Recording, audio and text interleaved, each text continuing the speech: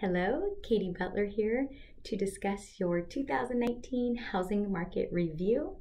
Jumping right in, average sales price went from 400,000 to 416,000 or about 3.5% increase. If you prefer um, median price, that went from 360 to 385 or about 4%. Not as dramatic as years past, but still healthy, and I think it might change in 2020 we will see. So Sacramento is huge. There are a ton of different little neighborhoods, so they didn't all perform equally. So when you take a little bit of a closer look, some did a little bit worse than that 4.1%, some were just about average, and some did a little bit better.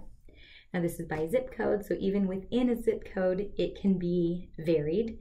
And if you are curious about your particular neighborhood, please reach out. I'd be happy to share with you what it did and what it looks like.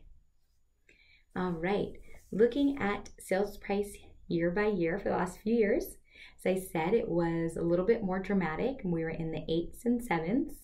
Um, but I want to draw your attention to the final column of inventory.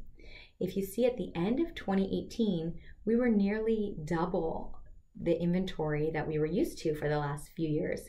And I think that had an impact on our pricing in 2019. Now, at the very end of 2019, our inventory was back down to about a month.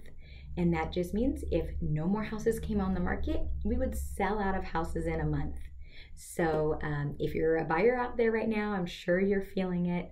There's not a ton of inventory um, kind of slim pickings. So I think that's going to apply pressure on the pricing pricing this year and draw it up a little bit.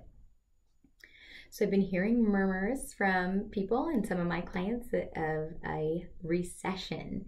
And I want to remind you the definition of a recession is just that the GDP has slipped for two consecutive quarters.